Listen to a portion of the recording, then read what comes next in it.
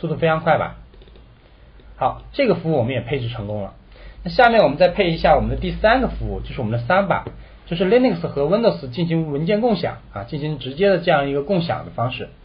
这样子配好了之后，我们就可以在 Windows 里面直接访问 Linux 目录。好，我们同样的来进行一个 Samba，Samba。我们敲一下 saba 没有啊，没有这个 saba 所以你要安装一下，它会提示你用 saba 四来安装啊。三八四这个服务，Samba 要稍微大一点，在安装过程中要稍微久等一会儿啊。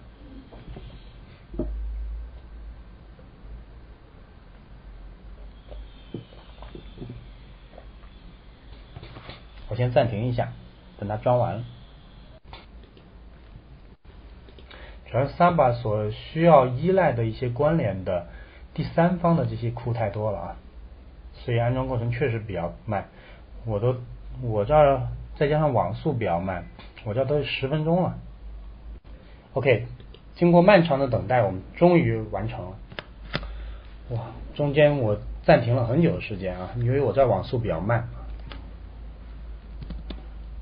OK，那么至此的话，我们。还是通过我们的通过我们的 config check config 来检查一下这个服务。三百有了对吧？而且处于运行状态，而且处于运行的状态。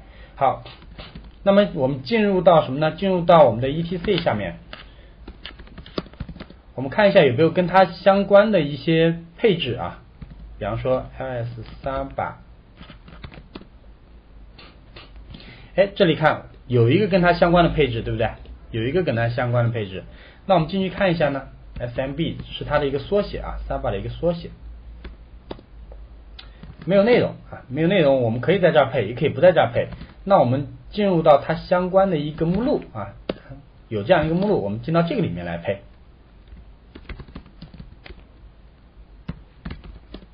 好，这里就有内容了，对吧？那么这里面的这些内容我就不不带大家一一解读了啊，但大家可以通过帮助来看，这个就属于全局的一个命令配置，这就是我们整个全局的配置啊，全局的配置内容，那包括了这些代理啊，包括大小的文件呢。如果说你愿意在全局做一些，比方说这里在注释里面有很多内容，包括是否支持 Windows 服务器等等。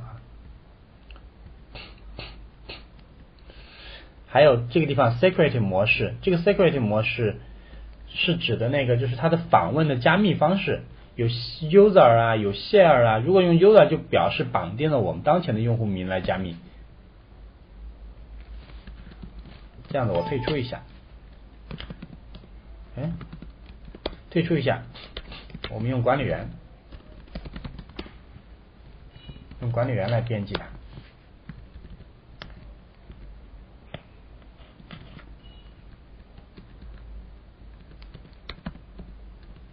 那这个 user 就表示当前的，那么如果说用 share 就表示共享的，这个就甚至于可以不让它出这个用户名和密码，当然这个你不配也可以啊。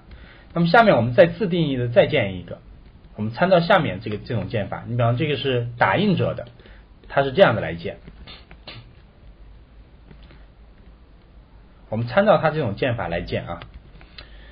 OK，我们在这儿。参照它的建法，我建一个 Sunday，comment 就是备注了，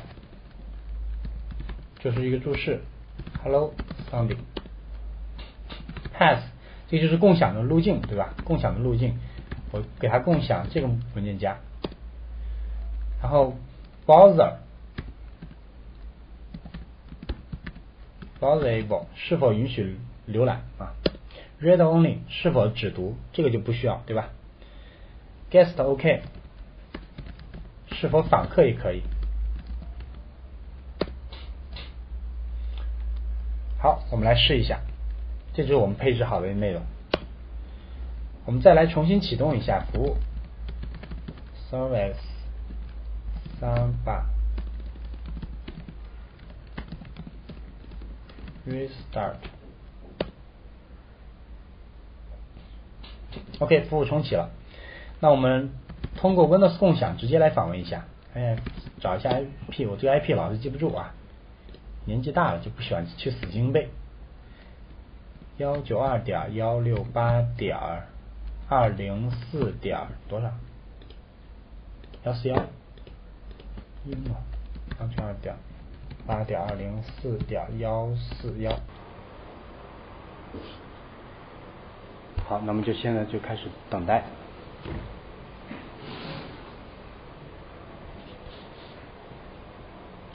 速度稍微有点慢，OK，大家看一下，那我们这里就是不是就可以访问得到了啊？证明我们的配置是成功的，对吧？好，那么大大家下来可以自己去尝试一下。那么在这里的话，这几个服务我只是简单的给大家做了一个演示，每一个服务非常详细的它的参数调用，我们并没有来进行详细的讲解。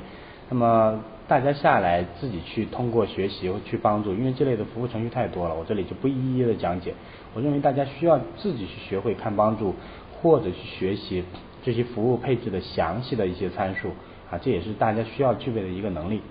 我们在这里只是给大家做一个简单的这个演示，重要的还是通过这几个例子来讲解我们的服务器程序的安装和配置啊。好，这个就是我们这一课的一个内容啊。我们再来回顾了一下，主要是重点要了解我们 init 过程的初始化的这样一个流程，特别是在我们的 Ubuntu 下面啊，不要跟那个 Red Hat 那样人云亦云。网上的文章我告诉大家全部是抄的啊，所以大家自己下来可以自己继续详细跟踪。那在这一块我没有带着大家走得很深啊，这个源于我们现在是属于我们正讲这个课程的初级的初级阶段，所以讲到相应的时候，我会逐渐给加深它的这个深度。好，那么下下来，大家把这个课程整个给演练一遍。那今天我们就讲到这里。